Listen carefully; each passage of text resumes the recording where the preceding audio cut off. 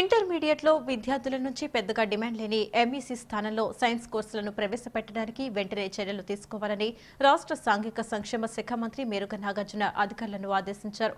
గురుకులాల్లో వచ్చే విద్యా సంవత్సరం నుంచే కొత్త కోర్సులు ప్రారంభమయ్యేలా చూడాలని అధికారులకు సూచించారు. బీఆర్ అంబేద్కర్ గురుకులాల కార్యకలాపాలపై సచివాలయంలో జరిగిన సమావేశంలో నాగార్జున అన్ని అంశాలను సమీక్షించి అధికారులకు ఆదేశాలను జారీ చేశారు. ఈ సందర్భంగా నాగార్జున మాట్లాడుతూ గురుకులాల్లో మొత్తం ఒకటి పాయింట్ ఒకటి ఏడు లక్షల సీట్లు ఉండగా వీటిలో ప్రస్తుతం ఒకటి పాయింట్ సున్నా తొమ్మిది లక్షల సీట్లు భర్తీ కావడం జరిగిందని చెప్పారు. ఖాళీగా మిగిలిపోయిన సీట్లలో ఎక్కువగా ఇంటర్మీడియట్కు చెందిన సీట్లే ఉన్నాయని తెలిపారు. ఇంటర్లో ఎంపీసీ బైపీసీ వంటి సైన్స్ సీట్ల కోసం పోటీ పడుతున్న విద్యార్థులు ఎంఈసీ సీట్లలో చేరడానికి ముందుకు రాని కారణంగానే సీట్లు ఖాళీగా మిగిలే పరిస్థితి ఏర్పడుతోందని చెప్పారు. ఈ నేపథ్యంలోనే ఎంఈసీ కోర్సుల స్థానంలో విద్యార్థులు ఎక్కువగా కోరుకుంటున్న ఎంపీసీ బైపీసీ సీట్లను ప్రవేశపెట్టాలని అధికారులకు సూచించారు. విద్యకు సంబంధించి రాష్ట్ర ప్రభుత్వం పలు చర్యలు తీసుకుందని ఆంధ్రప్రదేశ్ ఉన్నత విద్యా మండలి చైర్మన్ హేమచంద్రారెడ్డి స్పష్టం చేశారు. విద్యార్థుల్లో నాణ్యత ప్రమాణాలు పెంచడానికి యువతను ప్రపంచవ్యాప్తంగా గ్లోబల్ సిటిజన్లుగా తయారు చేయడానికి ప్రభుత్వం అన్ని చర్యలు తీసుకుంటుందని వెల్లడించారు. కొందరు వ్యక్తులు సంస్థలు ప్రభుత్వం మీద పని కట్టుకుని ప్రజలను తప్పుదోవ పట్టించేలా విమర్శలు చేయడం దురదృష్టకరమన్నారు. Rationalization of the faculty positions పూర్తిగా అసంబద్ధంగా ఉంది.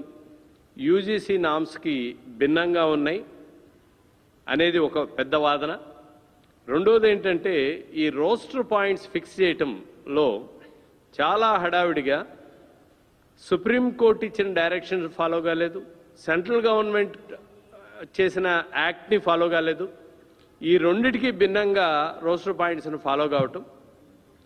ఇక ఇతరత్ర సమస్యలు చాలా వరకు ఉత్పన్నమై ఆ నోటిఫికేషన్ రెండు వేల పద్దెనిమిదిలో ఇస్తే రెండు వేల పంతొమ్మిదిలో ఈ ప్రభుత్వం ఛార్జ్ తీసుకునే వరకు దాదాపుగా డెబ్బై కేసులు అంటే వివిధ అంశాల మీద నేను చెప్పిన ఇదివరకు రేషనలైజేషన్ అయితే కావచ్చు రోస్టర్ పాయింట్స్ ఫిక్స్ చేయటంలో అయితే కావచ్చు ఇలాంటి వివిధ అంశాల మీద డెబ్బై కోర్టు కేసులు వేసి పీ పీఠముడి వేసుకొని కూర్చున్నాయి రిక్రూట్మెంట్ మన ప్రభుత్వం వచ్చిన తర్వాత గౌరవ ముఖ్యమంత్రి వారు వైఎస్ జగన్మోహన్ రెడ్డి గారు చాలా రివ్యూ మీటింగ్స్లో యూనివర్సిటీస్లో నాణ్యతా ప్రమాణాలు పెరగాలంటే అధ్యాపక పోస్టులు ఖాళీలు ఉండకూడదు కాబట్టి మీరు చాలా క్విక్గా మెజర్స్ తీసుకొని అధ్యాపకుల పోస్టుల రిక్రూట్మెంట్లో ఏ కోర్టు కేసులు అయితే ఉన్నాయో వాటిని సాల్వ్ చేయండి అని చెప్పడం జరిగింది.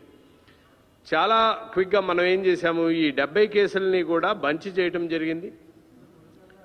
అండ్ మనం ఒక కమిటీని కన్స్టిట్యూట్ చేయడం జరిగింది. దాంట్లో ఉన్న లోటుపాట్లన్నీ కూడా హానరబుల్ కోర్టుకి మనం సబ్మిట్ చేయడం జరిగింది. ఈ ఒక సంవత్సరం క్రితం ఒక single judge honourable single judge ఒక జడ్జిమెంట్ ఇస్తూ పాత నోటిఫికేషన్లన్నీ కొట్టేయటం జరిగింది. గవర్నమెంట్ని కొత్తగా నోటిఫికేషన్స్ ఇచ్చి ఫిల్ చేసుకోమని చెప్పడం జరిగింది. ఆంధ్రప్రదేశ్ ప్రభుత్వ ఎలక్ట్రానిక్ మీడియా సలహాదారుగా బాధ్యతలు స్వీకరించడం సంతోషంగా ఉందని సినీ నటులు మహమ్మద్ అలీ వ్యాఖ్యానించారు.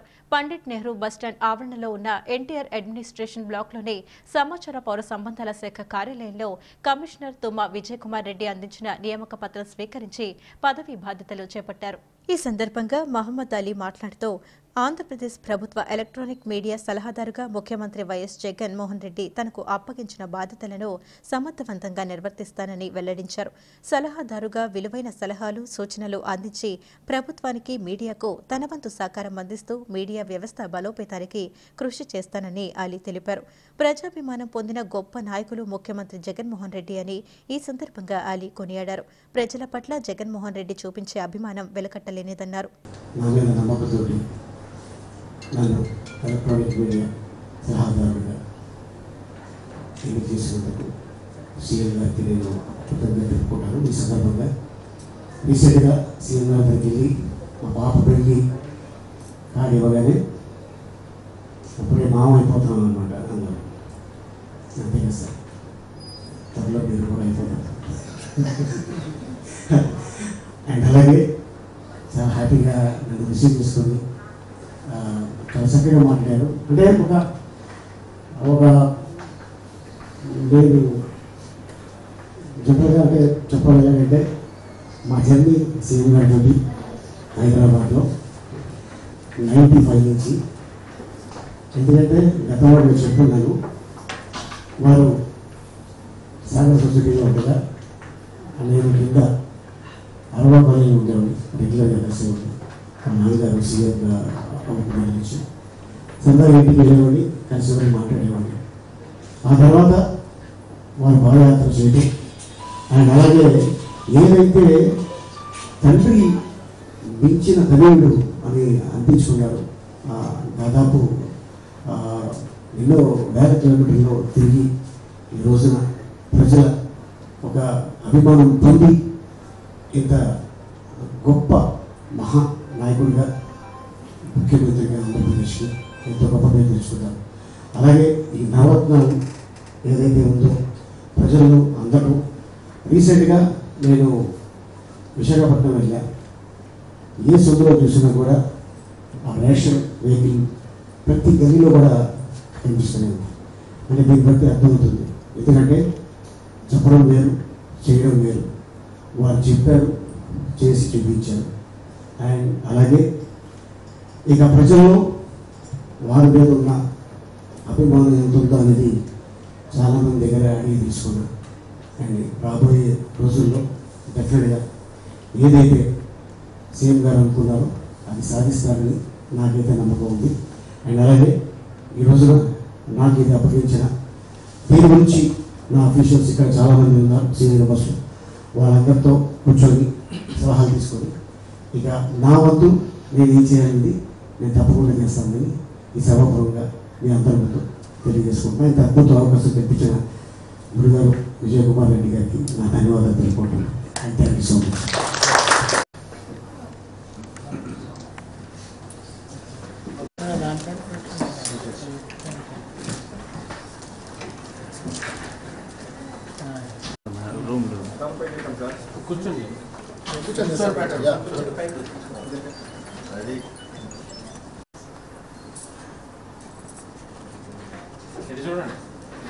ఎయిమ్స్లోనూ వైఎస్ఆర్ ఆరోగ్యశ్రీ సేవలు అందిస్తామని ఆరోగ్య శాఖ మంత్రి విడుదల రజని స్పష్టం చేశారు. Mental health anti microbial resistance అంశాల్లో ఎయిమ్స్తో ఏపీ ప్రభుత్వం ఎంఓయూ కుదుర్చుకుందని తెలిపారు. Centre of excellence in palliative కేర్గా ఎయిమ్స్ను అభివృద్ధి చేస్తామని వివరించారు. ఎయిమ్స్ అధికారులు సిబ్బందితో మంత్రి రజని ప్రత్యేకంగా భేటీ అయ్యారు. ఎయిమ్స్కు మౌలిక వసతులు కల్పించింది సీఎం జగన్ అని తెలిపారు. యాభై ఐదు కోట్లతో ఎయిమ్స్కు నీరు కరెంట్ రోడ్లు అందుబాటులోకి తెచ్చామని ఎలాంటి సహకారమైనా అందించేందుకు సీఎం జగన్మోహన్ రెడ్డి ఎల్లవేళలా సిద్ధంగా ఉన్నారని తెలిపారు. ఎయిమ్స్ కోసం గత ప్రభుత్వం చేసింది శూన్యమని మండిపడ్డారు. రోడ్లు కరెంట్ మంచినీరు లాంటి వస్తువులను సైతం బాబు విస్మరించారని తెలిపారు. డైరెక్టర్ గారితో ఇక్కడ ఉన్నటువంటి మేనేజ్మెంట్తో డిస్కస్ చేసి రానున్న కాలంలో ఎయిమ్స్ని ఆరోగ్యశ్రీ పరిధిలోకి తీసుకురాబోతా ఉన్నాం. ఈ ఆరోగ్యశ్రీ పరిధిలోకి తీసుకురావడం వల్ల రాష్ట్ర వ్యాప్తంగా ఉన్నటువంటి ప్రజలందరికీ కూడా ఒక ఉచితంగా మెరుగైన వైద్య సేవలను ఎయిమ్స్ అందించేటువంటి ఒక గొప్ప అవకాశం ఉంటుంది. దీని ద్వారా మెరుగైన వైద్య సేవలు ప్రతి ఒక్కరికి కూడా అవైల్ చేయ చేయగలుగుతాం. ఎందుకంటే ఒక మంచి ఫెసిలిటీ ఇక్కడ ఎన్ ఇక్కడ అన్ని డిపార్ట్మెంట్స్ అన్ని ఫెసిలిటీస్ అన్ని సర్వీసెస్ ఇక్కడ ఉన్నాయి కాబట్టి ఈ ఫెసిలిటీస్ అన్నిటినీ కూడా పూర్తిగా అందరూ ఉపయోగించుకోవచ్చు అనే ఉద్దేశంతో ఈ ఆలోచన చేయడం జరిగింది. దీనికి సంబంధించినటువంటి పేపర్ వర్క్ అంతా కూడా దీనికి సంబంధించినటువంటి టెక్నికల్ వర్క్ అంతా కూడా మా ఆరోగ్యశ్రీ సిఓ అండ్ మా ఎయిమ్స్ మేనేజ్మెంట్ మాట్లాడుతూ ఉన్నారు. తొందరలో ఆరోగ్యశ్రీని ఎయిమ్స్లో ఆరోగ్యశ్రీని ఎయిమ్స్లో తీసుకొచ్చి పూర్తి స్థాయిగా కూడా ఈ సేవలు అందుబాటులోకి తీసుకురాబోతా ఉన్నాం. అలాగే ఈ anti microbial microbial resistance AMR సంబంధించి కూడా ఎయిమ్స్ వారితో గవర్నమెంట్ ఆఫ్ ఆంధ్రప్రదేశ్ ఎంఓయూ చేసుకోవడానికి కూడా దీనికి సంబంధించినటువంటి డిస్కషన్ కూడా చేయడం జరిగింది. తొందరలో ఈ ఎంఓయూ చేసుకోబోతా ఉన్నాము. అలానే ఏదైతే mental health training training of students counsellings అలాగే కాంప్రిహెన్సివ్ స్టడీ ఏదైతే ఉందో దీనికి సంబంధించి కూడా ఈ మెంటల్ హెల్త్కి సంబంధించి కూడా ఎయిమ్స్ వారు గవర్నమెంట్ ఆఫ్ ఆంధ్రప్రదేశ్తో మనము ఎంఓయూ చేసుకోబోతా ఉన్నాము. అలాగే క్యాన్సర్కి సంబంధించి centre of excellence in palliative care ఏదైతే ఉందో దీ ఈ ఏదైతే ఇక్కడ ఉందో దీని దీన్ని దీంతో పాటు కూడా ఎయిమ్స్తో పాటు మన రాష్ట్ర ప్రభుత్వం కూడా దీనికి సంబంధించి కూడా మనము కలిసి వర్క్ చేసే దిశగా మనము ఈరోజు కొన్ని డిస్కషన్స్ జరిగినాయి. దీన్ని కూడా మరింత స్ట్రెంగ్తెన్ చేయబోతా ఉన్నాము. కాబట్టి ఇప్పుడు దాకా కూడా మనం చూసుకున్నట్టయితే ఎయిమ్స్కి సంబంధించినటువంటి ప్రతి ఒక్క అంశంలో కూడా ప్రతి ఒక్క నీడ్స్లో కూడా ఈ మూడేళ్ళ జగనన్న ప్రభుత్వం పూర్తి స్థాయిలో కూడా అండగా ఉంది. డైరెక్టర్ గారు కూడా అలాగే మేనేజ్మెంట్ కూడా ఎయిమ్స్కి ఇచ్చినటువంటి సపోర్ట్ మీద మన రాష్ట్ర ప్రభుత్వానికి మన జగనన్న ప్రభుత్వానికి వారు ఎంతగానో వారు సంతృప్తి చెందారు. ఎప్పుడు ఏ అవసరం ఉన్నా కూడా రాష్ట్ర ప్రభుత్వం తోడుగా ఉన్నందుకు వారు వారి యొక్క కృతజ్ఞతలు కూడా తెలియజేయడం జరిగింది. ఒకవైపున ఎయిమ్స్కి సంబంధించి మన జగనన్న ప్రభుత్వము ఇంత పెద్ద ఎత్తున సపోర్టుగా ఉంటే చంద్రబాబు నాయుడు గారి హయాంలో ఏదైతే బైఫర్కేషన్ యాక్ట్లో భాగంగా మన హక్కుగా మన ఆంధ్రప్రదేశ్ రాష్ట్రానికి ఎయిమ్స్ని మనం తీసుకొచ్చామో ఈ ఎయిమ్స్కి కనీసము నీళ్ళు ఇద్దామని కానీ కనీసం రోడ్లేద్దామని కానీ కనీసం ఇక్కడ ఉన్నటువంటి ఏవైతే కన్స్ట్రక్షన్స్ ఉందో అవి డెమాలిష్ చేద్దామని కానీ ఇక్కడ ఎలక్ట్రిసిటీ ఇద్దామని కానీ ఇక్కడ స్ట్రీట్ లైట్స్ ఏర్పాటు చేద్దామని కానీ అట్లీస్ట్ సెంట్రల్ నుంచి ఏమిస్తున్నారు? స్టేట్ నుంచి మనం ఏం చేయాలి?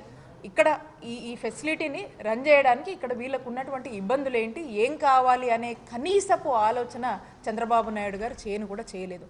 కనీసము వీళ్ళకు కనీసం ఈ ఈ ఈ ఎయిమ్స్కి సంబంధించి వీళ్ళకు ఏదన్నా ఉపయోగపడే పని చేస్తే ఈ రాష్ట్ర ప్రజలకు ఇది అవసరం అవుతుంది.